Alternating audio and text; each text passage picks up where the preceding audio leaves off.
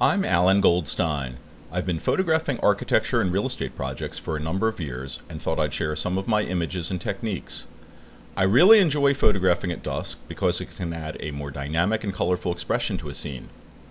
My usual approach is to time the shot so that there is a nice balance between the residual daylight, the artificial lights in the building or house, and also have some rich color in the sky. Occasionally, I supplement the scene with my own lighting.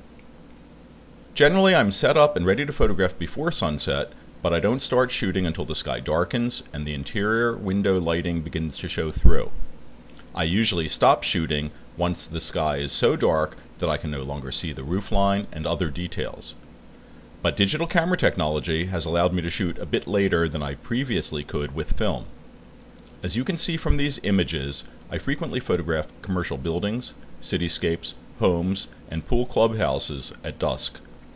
My clients include ad agencies, builders, real estate developers, architects, and interior designers. It is often nice to capture the streaking tail lights from cars to help frame a picture and give it a more dynamic urban feel. Clients who market condominiums generally like to try to show that there is activity in the neighborhood, and the trails from the taillights help to communicate that.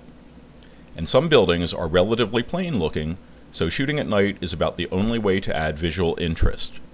Thanks for taking the time to look at my work and please come back again as I post additional slideshows.